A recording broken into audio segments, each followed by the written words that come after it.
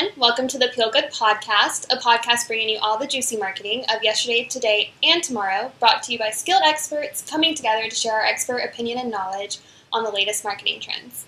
Returning as your host, I'm Emily Knowles, the account coordinator for Clementine Creative Agency, an agency based in Atlanta that provides our clients with a multitude of creative services to include web development, social media, print, and branding. For this episode, I'm joined with a new co star. Clementine Creative Agency's graphic designer, Paula Buckner. Glad Hello. Hello. Glad to be here, socially distanced, of course. Yes, because I mean, for obvious reasons, we're still, you know, navigating this ongoing pandemic. So, compared to our first two episodes where we're side by side in this room, and then compared to our last episode where we were filming from home, we're now back in this room, but with some distance between us. Because we still want to take on and be vigilant and take on those uh, precautions that have always been said to us throughout you know, media and the news. So we're still making sure to be vigilant in that. I'm Paula, and I am the graphic designer here. Um, my background is in industrial design and graphic design, so have a little bit of a 2D and 3D background that I get to apply to some of the projects that we do. That's right, and your kind of your job really is some of the core of Clementine because as a creative agency, we want to make sure that we're being creative in all strategies and tactics when it comes to internal projects as well as client projects. That's right. We understand the importance of you know cutting through the noise um, because in your daily life you go through you see up to 6,000 ads in some form a day. Yeah, on average, the average person sits there and they don't even know, especially through this new digital era. And I say new, but new as in as late as the 2000s, coming in with the internet and computer and iPhones. Mm-hmm. With that brings social media, and through all of that, you're kind of seeing ads that you don't even realize are ads. It's coming kind of under the radar. For example, movies, when they place products in movies, it's a product placement. And while it doesn't look like a traditional advertisement, you're still getting that ad. Yeah, definitely. And then people wearing uh, apparel with logos on it, they're like walking billboards. So Absolutely. Because if you see the check mark, you know it's Nike. Right. And that's representing Nike in itself. Yes. And this is nothing new. This is something that's been going on since the 1800s. That this marketing to people, um, it's just grown from print to digital. Yeah, because you know, advertising has kind of gone through these like dynamic and diversified eras back from like the 1860s. You know, you kind of have tr- more traditional um, advertising, mass marketing, and then you kind of get into the 1920s through the 40s where you have more direct marketing. And then, of course, you get back into the 2000s, and now you're in this digital marketing, and you have to think that creative thinking execution has to cut through that noise of social media and all that comes with digital, including email marketing. In order to cut through the noise, you have to have a creative strategy.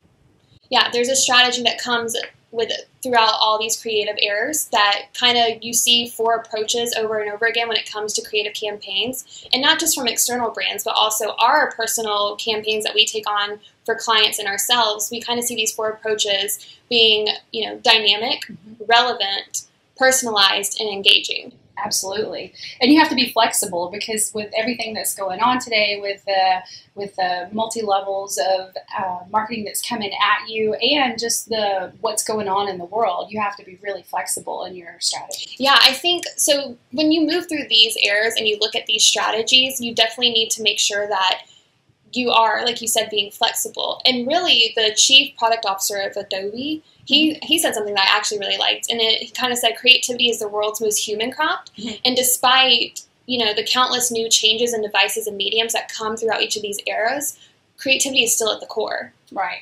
And you can't you can't really take that back from the strategy if that's what you're doing is to elevate a brand and kind of going that extra step and thinking outside the box to make sure that creativity is brought to that campaign. So thinking back on this this creative strategy in some recent campaigns, what are some that you think you have been successful? I think you know Coca Cola um, really comes to top of mind and how they have used branding and storytelling to be more part of their brand than not, especially starting as of 2014. You know, Coca Cola is a really ubiquitous product. You know, you think soda, you think drinks, and you do think Coke, but from a marketing standpoint, that's not really what the average consumer is thinking about. But they were able to engage a wider consumer base outside of just those who are fans of the products by taking on this approach of share a Coke. Mm-hmm. So in their share a Coke campaign, they printed on Coke cans and bottle labels people's names. Mhm. And so when you're at the store and you see your name, you're like, oh, I want that. Or you see someone else's name and you're like, I want to share that Coke with someone because it has their name on it. It's personal to them. And it kind of, again, thinking back on those four approaches of engaging, it's definitely engaging because you help, you know, engage the consumer with that personal touch, it's personalized. Mhm. Um, and then they're able to engage with others on that product. Yeah, and I think that campaign was really successful because they started out with what a thousand names at first, Right. and it was so popular that people were like, "Where's my name?"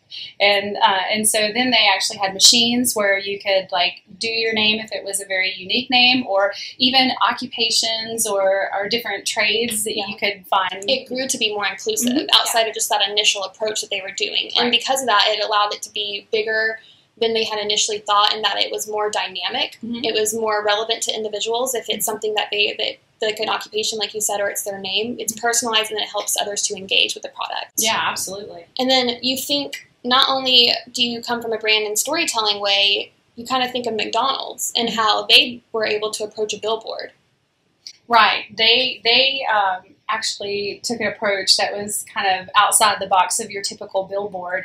Uh, they even conferred with NASA on the sundial billboard that they did in 2016, and it just you know it was really neat that they had different. Um, food items on their menu on the time of day that you would have normally consumed it. So, you know, they had coffee and then they had an egg McMuffin Gotta have that coffee first, though. Oh, that has to come first. Yes. um, and so the sun actually cast a shadow at the time of day. So that took a lot of planning and engineering, and definitely um, a lot of thought went into it. What seemed like a simple design, you know, a lot of thought was actually put into it. it definitely took on it was very innovative you know because to approach you know a nasa scientist to work with them to create a billboard a traditional type of advertising and really take on this new dynamic approach which we see again as like a, an approach that you see in creative strategies Mhm. is that it was engaging because it allowed others to like engage with the billboard to see what kind of food that it fell upon each time that the Right. sundial moved but then it also was relevant because it allowed the time that usually you would consume these items Mhm. to be present on the billboard And at noon, what was really neat about it, at noon, the perfect McDonald's Arches M was cast onto the billboard. So then you're getting that brand recognition and That's you're really reminding people, you know, who this billboard is for. you know they're famous for those arches. Everyone knows that. So when it's presented on the billboard, you know immediately this is McDonald's. Right. And Spotify is very similar in that they were able to take the data that they gather from users, individual users of the Spotify Mhm. streaming app, to take that data and make personalized playlist of the top 100 songs of each person and be able to have that for them at the end of the year so that you can look back and that's very personalized because it's, it's personal to that individual and then you're able to take that and share it on social media Mhm. and then others see that and engage with it and they had like of course a hashtag like 2019 wrap up spotify 2019 wrap up that you then share and it gains like over a million impressions Mhm. based off one year off of one campaign that's utilized that has been utilized Mhm. since 2016 and so that's really a lot of earned and free advertising for Spotify, just because they did take on this new dynamic approach that was both personalized and engaging to that person. But there is some creative strategies that maybe be considered too far, um, like the IKEA ad that was um, that was really popular in 2018. Um, it was an ad that was placed in a women's magazine for a crib that IKEA sold, and the gimmick to that was that if you peed on a strip that had like a pregnancy test technology on it, um, it would reveal a code that you got a discount on this crib if you were pregnant. Yeah. So I mean, that's it's kind of utilizing that same technology that you would use inside of an actual pregnancy test and applying it to the ad itself. That's kind of the parallels you see there, and Mhm. how dynamic of a print ad that can be. Like stepping outside of like a traditional print ad, you kind of add on that mm-hmm. layer of that's pretty dynamic. It does beg the question though, like you said, is how far is too far? And people, yes, are talking about it now, but it's almost like is it just because any press is good press, regardless of if they're talking badly about it? Yeah, it's definitely not one of those strategies that you would want to use for you know everyday advertising. That's Um, right. But it was very successful for them. I mean, they got 4.3 billion uh, global impressions, and then it earned 11 million in um, in earned media. So, you know, it, it was it was very successful, but not something you'd want to do for every day. Right, and it, like you said, the reach of it itself, it started in Sweden, but then you have American talk show hosts talking about Mhm. it, and you know that's pretty engaging in itself. Talk, Mm-hmm. Speaking on those approaches, that helps with the engaging process of it. Right. And then, I mean, you can talk about being personalized because that's a very personal element to marketing. Because you know, did they take that into the cashier and share it? Uh, hopefully, not, You know, right? And honestly, like you can, right? Like you said, beg the question is how far is too far? But Mhm. if it's successful and you use it for that one shock value moment Mhm. and make sure it's not applied every single time to where it comes exhaustive and simply gross, Right. then it could be successful in its own right. Now, Clementine, we haven't gone as far as, you know, no. as IKEA to sit there and create a campaign like that, but we do definitely take cre- a creative edge approach to a lot of our client work. Mhm. And a lot of that starts off with social media, Mhm. you know, because we definitely had a, a social media promotion on leap year. Oh yeah, yeah. That one was a fun project to do because um, it was basically the idea of what would we do with our extra day if we had to, to pick anything. An extra 24 hours, Yes. what would you do? And so each of us, you know, of course, had our all different things that we would do, and we could have, you know, taken pictures of those things and just posted them, or we could have dressed up like whatever it was. Simply But- had like a t shirt. yeah, um, but to make it more fun and more daydream and um, more engaging, um, we actually did these little animations over everyone. We did a photo shoot. Um, we did dress up kind of in the theme um, of what our extra day was, but you know, we added these little little doodle animations like we were dreaming of what we were doing, and it turned out to be really fun It promotion. Added that layer of you know creativity that you normally wouldn't see through a social media post. Mhm. Well, on average, because like you said, it could have simply been just like a static image within a gallery post on Instagram. But adding that extra layer of animation around someone, for example, our project manager and co-founder Clementine Jennifer, Mhm. she wanted to well watch with her extra 24 Yeah. hours. If she could do anything, it'd be well watching. And so for her, she had like a whale jumping in the background that was animated in. She had a captain's hat, binoculars looking at the whale, the waves around her on the boat. Like it very much added the storytelling element to it Mhm. through animation because it's just that extra feature on it. Yeah, Absolutely, yeah, that was definitely fun. And taking those series and just stitching it together to Mhm. make it that dream animated look, it just brought that extra creative step into it. Right. And for us, like, yes, that's dynamic because we did go beyond to what you would normally post to social media. It Mhm. wasn't just a simple post. It was engaging for others because they were allowed to engage with the post and like see that extra element applied to it. Right. And then it was personalized for us. So it's still taking in all those approaches into one theme. Yeah, absolutely. And staying on that theme of holidays, I know last year for Christmas, we always send out a client Christmas card. You know, to all of our clients, we always send a Christmas card, and they each of them have been creative in their own rights. But you know, it has been a typical folded card that you then put in an envelope and it's sent off, Mhm. but not last year. So last year, um, I designed and engineered a pop-up card. Um, so this one was kind of fun because it was in a winter theme, and um, and it shipped flat to each of our clients, and um, it was kind of cool because you kind of incorporate them into the process right. of like the assembly because this took a lot of work to engineer it and to figure out the pop-up elements, and then they're adding the last and final step where they squeeze the sides and push up the bottom and then you have this little snow globe type sculpture that sits on their desk. You know, you have a little house and a tree and a snowflake on one side, and then you have a little happy snowman. And, you know, it's just a fun, and it's not specifically any particular, it's more winter themed, so it's not, you know, Christmas per se. Um, Right. So it's something that they could keep on their desk for months to come. It's That's something right. they would want to engage in and like be a part of, and and then it's something that hopefully they would want to keep. And like you said, it invites them into that process that it took to actually put and assemble that Mm-hmm. piece from all the way from like the individual snowman, the picket fence, the tree, the snowflake, each of that being hand cut and then assembled. Mhm. And then for them, like you said, the, the last step, pushing it up to actually have the full full picture of what the card is. Right. And then there was a limited number of these that we made as well. So there's like a number on the bottom. So um, just like an artist would number and sign their prints, we did the same thing just so they know that we handmade this just for them. So that was very personalized to each of them. Like a special edition almost. Mm-hmm. Yeah, absolutely. And building off of this type of project that we worked on, we also, just for our clients, ha- take more than just a typical brochure that you would find in the mail that's mailed out to you. Mm-hmm. It's probably a one piece, double sided, like laminated brochure. But this actually is a more foldable package, almost like a gift almost, that for one of our clients, in that this client builds luxury condos in Mhm. Midtown. And so when someone like that builds such a luxurious product, you want to make sure that even the smallest of details, like the brochure for that product, is just as luxurious and has that attention to detail. Right, and you know, just the textures of it and the magnetic closure that it's just a special portfolio, that this isn't just some, you know, regular brochure that's coming to you. It's something very special.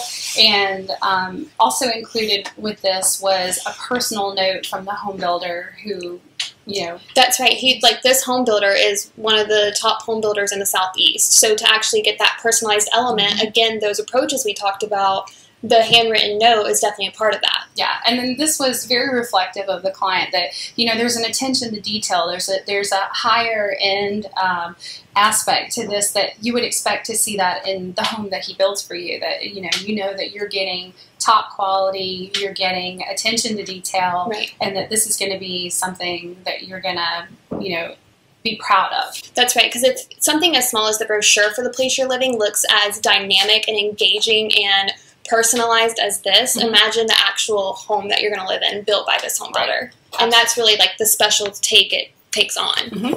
There's also, um, speaking on like the home builders and the attention to detail, we also had a project that was a multimedia project that it kind of encompasses all senses. It was a very much experiential design um, that it it incorporated a little bit of everything just to really you know, as a person, it was for a sales center uh, for Pratt Stacks. And so when the uh, potential buyer comes in, they're greeted with this mural that was created by a local artist Yeah. and the colors were a specific color palette to the company and brand and in this mural um, were television screens. And they had videos and still shots and sound that were all coordinated to work together at very specific times. And then the additional tier to that was the lettering on the mural. You know it could have just been regular flat letters but there was an actual texture an actual you know la- another layer that was added to it with the string art Yeah. letters. And it was just you could tell that a lot of attention went into this a lot of detail went into this and that's very much what you expect when you want to uh, purchase a home and on like and building on that personal touch because those you know 3d letters the nail art that was hand done Mhm. so yeah you could have someone who mass produces nail art and you hang it up on the wall and you call it a day Mhm. but to take the time to actually put a personal touch into it as actually doing the nail art yourself Mhm. that just that that reflects the place that you're going to live in because typically you would walk into a sales office on average you see one desk the sales agent behind it maybe a couple of framed pictures of the Mhm. location or the the model home for this it was definitely like an orchestrated symphony of things that allowed you to have a different experience than, than normal.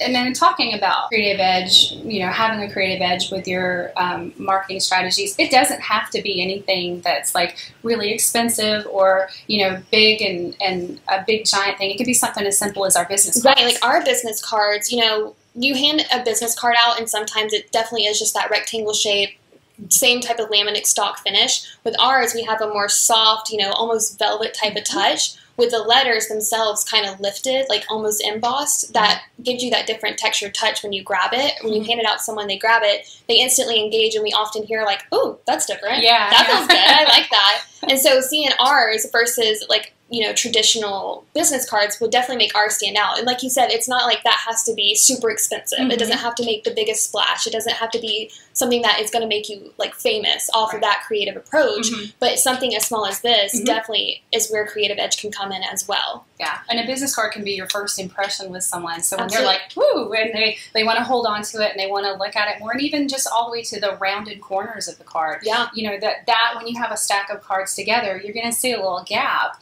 that it's you know all regular business cards have with a square edge. You know, are all going to fit together, but we are kind of different. That's right. You know. And even with our own clients, we're able to look at someone who has a square logo, Mhm. and then we take that logo idea and we create that as their business card. So Mhm. it's definitely like half the size of a traditional uh, business card, but it's still that square, smaller size that makes it stand out amongst other business cards. And then you're definitely identifying like that brand, and it comes front of mind Mhm. over other ones. And looking into the future, where do you kind of see? Because you know we came through these eras, like we were talking about in the beginning, this mass marketing, direct marketing, this Mhm. digital marketing. Looking into the future, where do you see kind of creativity? It's still being at the core, but where you see it going in the future and what's to come in the future. Well, you definitely have to um, be flexible, like we discussed, and um, you know there is the feature of using AI, but Yeah. that becomes more invasive in people's life, and they're going to be, you know, they're going to tune out a lot of things because they just feel like everything's being thrown at them. So you definitely have to be flexible, but you also have to be um, while you're trying to make a deeper connection with someone, you also need to be respectful and um, of their expectations of you know the current culture you know that's going on at this time um, so you, while you're paying attention to all of these details then you have to find a way to kind of cut through that And you can still be like those four approaches. You can still be relevant in all of that. You can still be engaging when you make that connection. That's engaging with your consumer or Mhm. whoever the campaign's directed towards. Doesn't mean just because a new uh, technology was added to the equation Mhm. that those that those approaches within the strategy that you constantly see throughout being creative and adding that creative edge has to go away. right and the technology is there as a tool. It's not going to replace the creativity. Um, it's going to help you know compile data. It's going to gather and compile data. It's going to read that data. And then what you do with it is is where you find your creative edge We do talk more of this on our website mm-hmm. at clementinecreativeagency.com. We have a blog posted there that speaks on the theme of this episode and kind of our own predictions of where we're going in the mm-hmm. future, like you spoke on the new technology that comes into play and how we see creative strategy still being at the core of that. And if you did enjoy this, please look at our first three episodes of the Peel Good podcast. Our first episode takes on TikTok and how you can use it in your branding and how other brands have used TikTok through marketing. We take a look at web accessibility and how your website should be all inclusive. And then we do take a look at how marketing has adapted to the ever going pandemic that we're all facing right now. And so we definitely have those, and those are still available on the Spotify, Apple, and Google podcast apps, as well as on YouTube. Thank you so much for joining us today. yeah it was great being here Yeah. see you next time